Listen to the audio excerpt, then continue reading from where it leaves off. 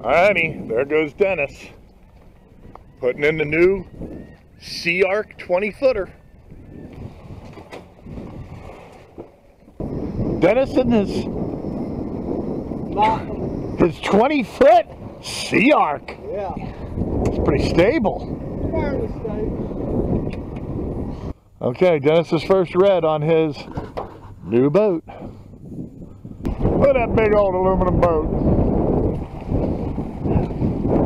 Alrighty, that was a fun morning with Dennis doing a shakedown cruise of his boat.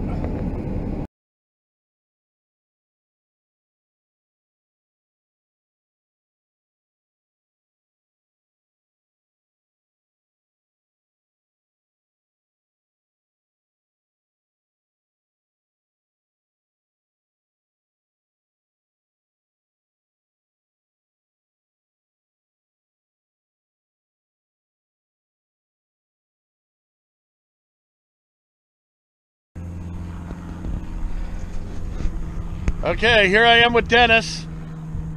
You may remember the 20 foot Sea Ark.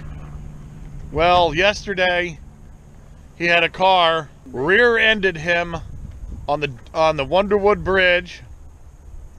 Um, while he was towing over the Wonderwood Bridge, and now this is what's left of the 20 foot Sea Ark and all the damage. So we're going to start at the tongue and we're going to work our way back. We're at the yard now where they bring the boats and cars that look like this. There's a real wonderful gem for you. Okay. Um, some dude ran right up. We won't go into particulars about this dude. I'd love to go into particulars about it myself, but um, so He's towing with his pickup truck over the Wonderwood Bridge, going fishing, and that's the Lawless Bridge, of course, where all those Navy guys and contractors and that traffic are doing like 80 miles an hour, and they hit the back of his boat at right when he was nearing the top of the Wonderwood Bridge. So, here's the first part of the damage, right? Yeah. Just this entire mechanism Broken. broken. And it's kind of warped too. And you can see right here, if you look real closely, that's bent. yeah, the tongue of the trailer's bent. Broke this. I Um, don't know how, but it broke it. Uh, took the handle off. Oh yeah, look at that. The handle is completely missing off the off of that. Yeah. Here's the next thing. The the trailer winch and jack the jack stand. Look at here's where the bolt was that was holding this down on the beam. Tire came forward, pushed this over, and now the whole thing is leaning forward. And the only thing that was holding the boat on was the chain because you can see the trap, the strap snapped right off. I mean, can you imagine how strong that is? And that broke. Yeah. So then you the can only see. thing holding it to the front of the boat was this little chain. Yeah, so now you see this is the way the boat is, but then again, when you when I saw it, it was on the ground. Yeah. It's on the side. The yeah. boat was like laying over. Okay, trolling motor doesn't look like it. doesn't even look like damage. it nothing to it. Yeah. You can smell the gas. Yeah. He, Dennis said that the gas was actually There's pouring out gas in in the bilge. in the right bilge, poured out of the tank. Now this is why. I mean, even a complete guy hits you probably what 50, 50, 60 miles an hour, whatever, 55. at least 60 because I was Okay. doing 50. This Oh, is man, why you own an here. aluminum boat. Look here. Okay, so then it skinned the whole boat. yeah. Oh man. Good time of day. Oh, is that split? I don't know if it's split, but boy, it's gouged in some kind of good. You can feel it, right? Oh yeah. Okay, and this is a Sea Ark. It's a, it's an older boat, so it's got like some riveting, but it is welded too. It's all welded. It's hull. all this is all welded on. The hull's welded. These are just for putting on the the deck and stuff like that. So it's a welded hull. Okay. The gas tank is right where? Here? Right right here. Oh, right under here. Yeah. Oh, okay. So something's wrong with the gas tank. Well, It's a poly tank. yeah. Okay. The boat was laying on its side. The gas was Oh. coming out of here. Oh, the gas was coming out of the filler. It Okay. came right out of the tank. of the Okay. Because the boat was laying on its gas. side. There was a big pool of gas here, and then when we righted it up, all my fishing rods that were here had gas all over. Huh. Custom built fishing rods. Yeah. And there was a big pool of gas here, so when we flipped it, Okay. I Nothing took wrong. everything out of I know, but I was just seeing if it was like loose. This is an add-on box that you add on to the boat.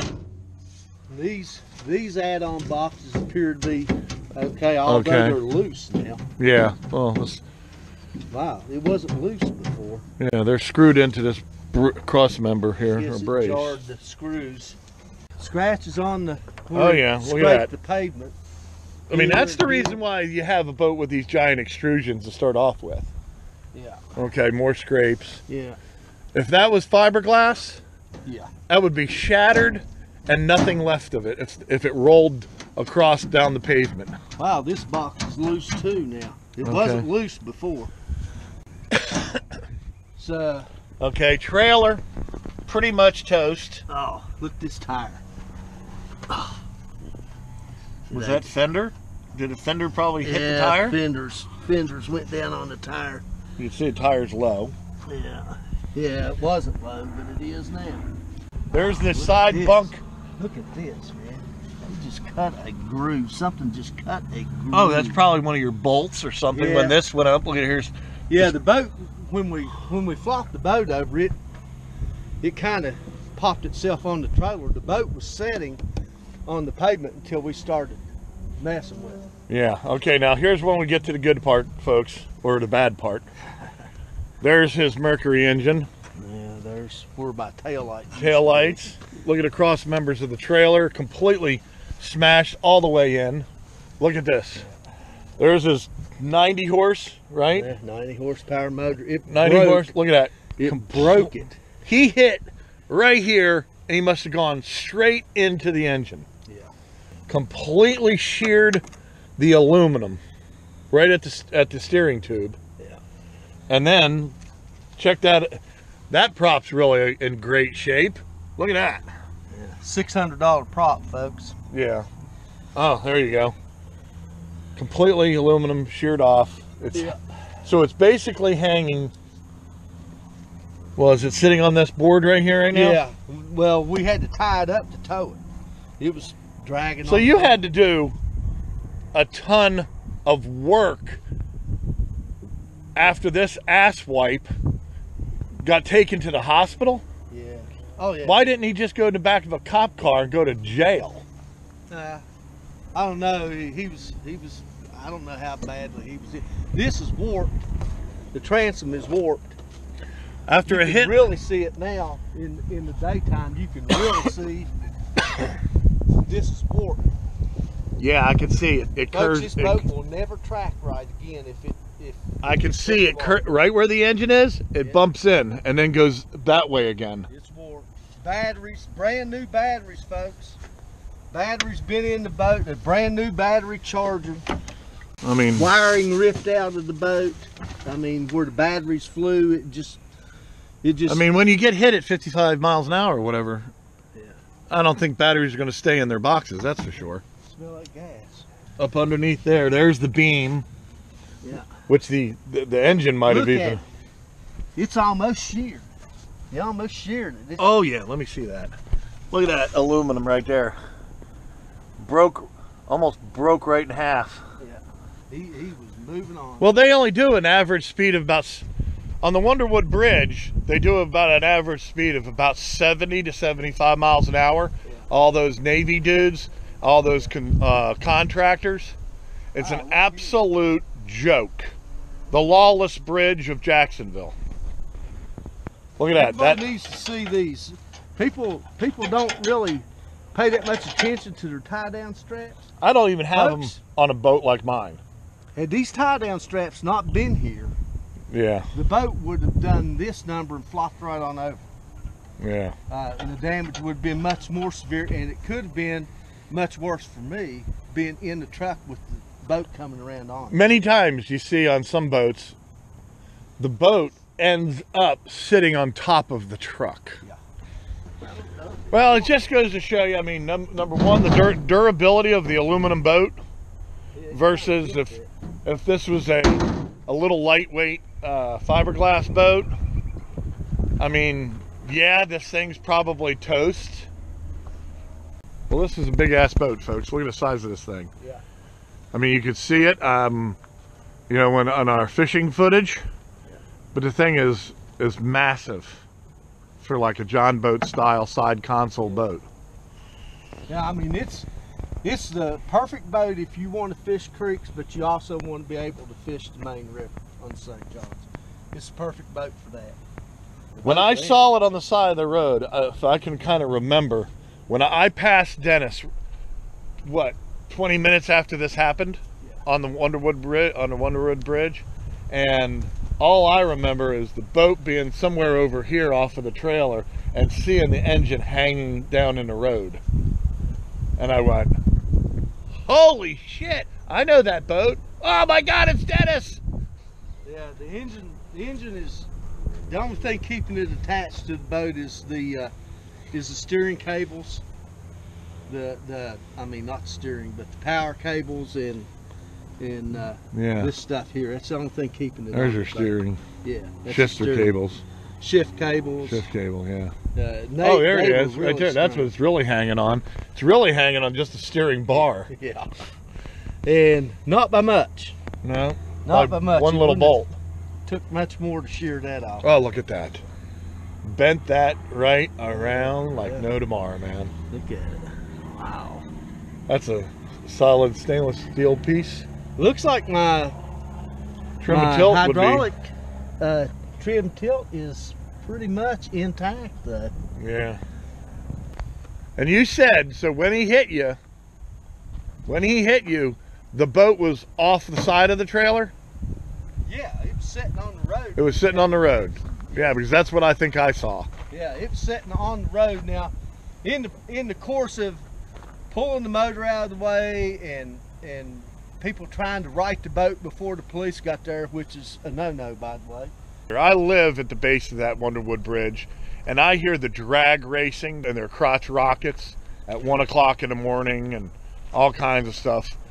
And my idea is at the very top of that bridge, they put cameras. And man, soon as you aren't doing 55, bam, you get a speed, you get a snapshot of your license plate, and you're going to get a goddamn ticket in the mail. And you know what? I've always, always suspected, and I even asked a lieutenant from the sheriff's department, that's a friend of mine, does the Jacksonville Sheriff Office have a deal with the Navy or something to not mess with them? Because let me tell you something. They don't, most of these guys, you know, not a whole lot of them give a shit because they're not even from around here. But when they're, when all that traffic is pouring over there, even myself, I'm going around Dennis and I'm going around a fire truck the other day, and a guy won't let me get my boat through. And I ran my uprights down the side of his truck. Everybody's in such a hurry to go to work. I guess it must be so much fun to work on that base. Now, you've got some guy because he was in such a hurry who has probably totaled his car. Yeah, total Could discount. have gotten himself killed. Yep, He could have killed me. yep, He, he destroyed my property. yep. All because And- he was in a hurry. And guess what? We don't know because Dennis, the way he said he talked to him, we don't know if he was uh, like some crackhead. We don't know. We don't know anything about They took him to the hosp- hospital, and I guarantee they took a damn blood test of that son of a bitch. this is this is warp too. Oh yeah. I go fishing for recreation. I worked 40 years. 22 of it for the federal government. Yeah, as So I as a federal employee. right. I could earn the right to go fishing twice a week in my boat. Yeah. Well, Now I can't do that because somebody got in a hurry. So that's what's left of my boat. The more I look at, it, the madder I get. okay. Well, let's go. All right. Okay, we're gonna end it here, and then I still have to do editing. See you, folks.